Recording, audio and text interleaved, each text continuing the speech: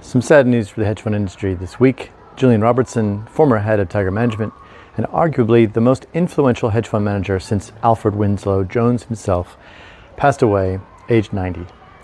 Although I never met him, I have met many of his so called Tiger Cubs, and I can say to a person, they are all excellent, well prepared, offered insightful analysis, and tended to do quite well running equity, long short equity books and businesses, which form the bedrock of the overall hedge fund industry in terms of assets and people. When allocators emphasize the importance of a manager's pedigree, Tiger is the reason they do so. For over 20 years, the people who learned their craft from Julian spread out, raised their own capital, and continued to dominate flows and performance tables long after his retirement. There are some key characteristics of managers with Tiger DNA that I wanted to share with you and that I try to look for when selecting hedge fund managers even now. This is a legacy of Julian Robertson.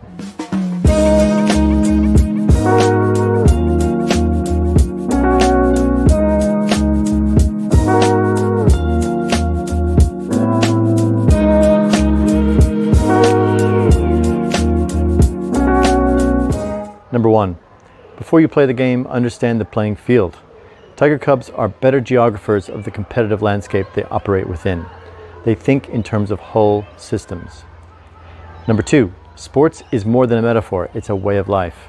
It's no coincidence that many Tiger Cubs are former athletes, typically playing team sports. They have the ethos of not always trying to get ahead, but rather striving not to let down the side because they know they're only as good as their weakest player.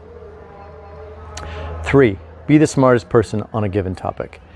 Tiger Cubs are inveterate networkers. They pull the buy side and sell side continually, testing their thesis against peers and competitors.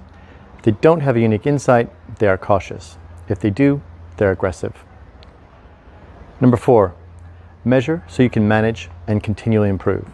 I remember visiting a Tiger Cub in 2005, which had built their own trade attribution analytics before solutions like Novus existed.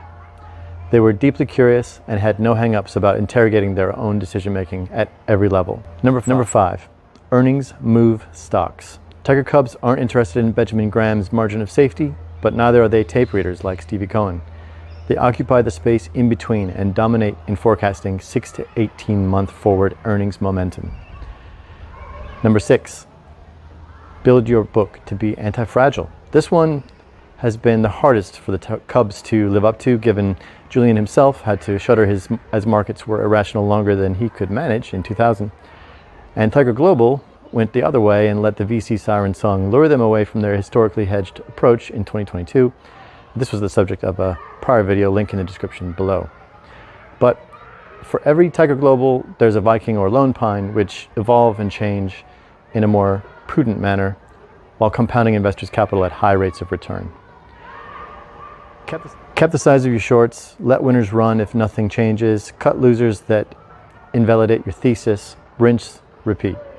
I, say all this as a tribute to Julian Robertson, but also as a warning to the current hedge fund industry, in which headcount is increasingly employed within so-called pod shop, which pass through expenses and treat their alpha generators like human batteries in the matrix, readily expendable and exchangeable. Where will the industry be when all these investors burn out after being passed around all the pod shops? What legacy will they leave behind? A few mansions for Ken Griffin and Izzy Englander? Perhaps the highest praise you can give a business person is that they left the world and their industry a better, more engaging, more excellent place than how they found it. Thanks to Julian Robertson's tireless leadership and mentorship, that's what we should give him the highest praise. If you liked this episode, please let me know. Like, share, comment, subscribe. Hit the bell for notifications of future episodes.